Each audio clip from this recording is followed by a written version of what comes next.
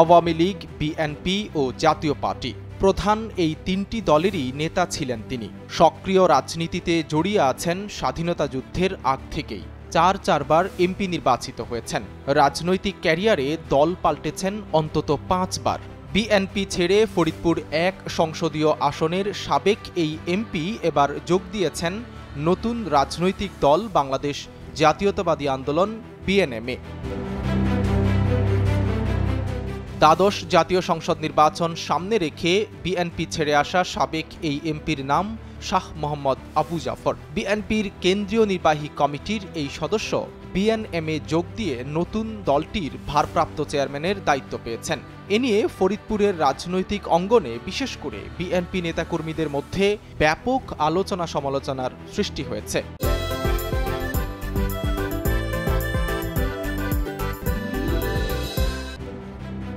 এটা কারণ যে তাদের যে এখনকার রাজনীতি, নির্বাচন বিমুখ রাজনীতি এতে করে দেশে একটা বিশৃঙ্খলা আরও দেশে নানান ধরনের সমস্যার সৃষ্টি হতে পারে।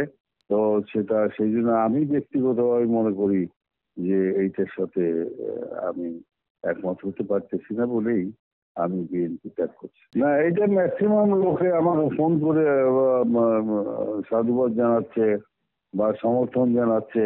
কিছু লোক আছে যারা তো বিরোধিতা করবেই।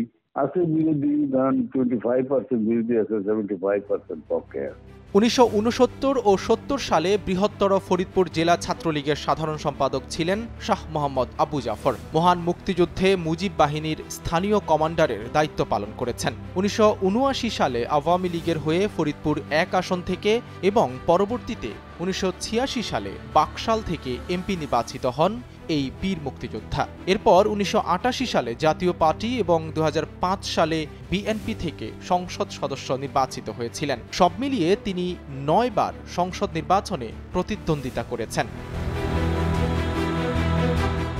এমন একজন গুরুত্বপূর্ণ নেতার বিএনপি ছেড়ে যাওয়ায় স্বাভাবিকভাবেই প্রতিক্রিয়ার সৃষ্টি হয়েছে। বিশেষ করে স্থানীয় বিএনপি নেতারা এর কড়া প্রতিক্রিয়া জানিয়েছেন। কোন নেতা যাবে, কোন নেতা আসবে, ওটা আমাদের বিষয় না। আমরা জাতীয়তাবাদী দল করে, জাতীয়তাবাদী দলে আসি, থাকব। ওটা আমরা দেখব না। আমাদের নেতৃত্ব শূন্য, আজকে হবে, কালকে আবার নেতৃত্ব এসে যাবে। আমরা এমনি শ্রদ্ধা করি, জাফর ভাই এজ এ বিগ লিডার ছিলেন।